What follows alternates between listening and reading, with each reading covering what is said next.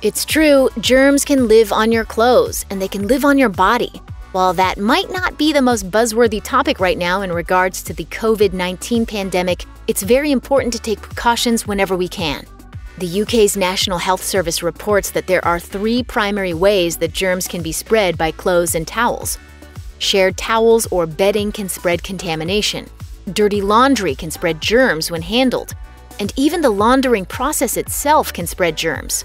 Many of the guidelines for protecting yourself against COVID 19 focus on cleaning hard surfaces and high touch surfaces, like your smartphone. You don't actually need to use antibacterial or antiviral products on your phone, you can just use simple soap and water. But the CDC also suggests that there's some risk involved when you're handling the clothes or bedding of an infected person.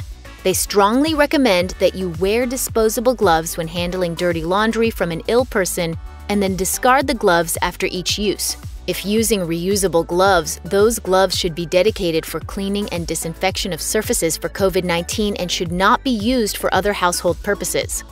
And please be sure to wash your hands properly after handling the laundry. The CDC advises that, if possible, do not shake your dirty laundry. This will minimize the possibility of dispersing virus through the air.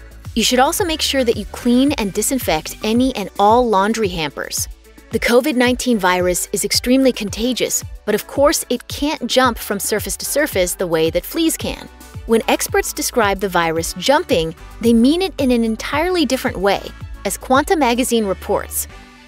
It's a disease that can jump between humans and other animals. While the specifics differ, the mechanism relies on the same fundamental premise access and ability. Can a virus reach the cells of its host? The COVID 19 virus can, of course, be spread through coughs and sneezes. In fact, a single cough can produce up to 3,000 droplets, and these droplets can live for several days on hard surfaces like metal, glass, or plastic.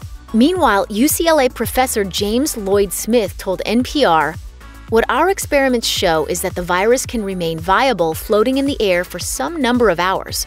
The experiments went out to three hours, and you know, there were still viable viruses present.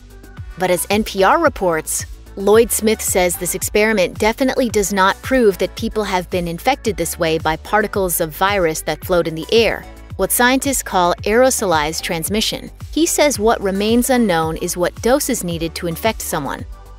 What is known is that it's exceptionally important to continue practicing social distancing and, again, making sure that you wash your hands often. And in case you aren't entirely clear on what social distancing is, Johns Hopkins Medicine explains. It's deliberately increasing the physical space between people to avoid spreading illness. Staying at least six feet away from other people lessens your chances of catching COVID 19. It's also important not to touch people when greeting them, so no handshakes or high fives.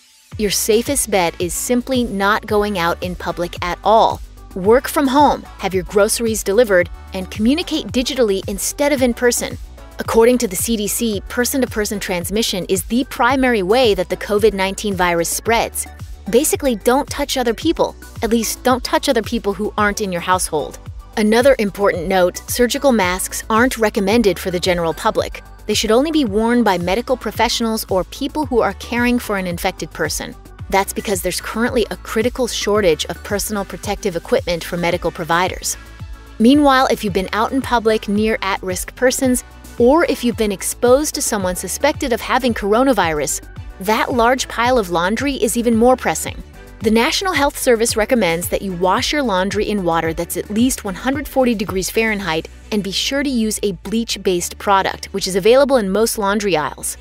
The CDC also advises that you let these laundered items fully dry. Stay safe out there. On second thought, stay safe by staying indoors.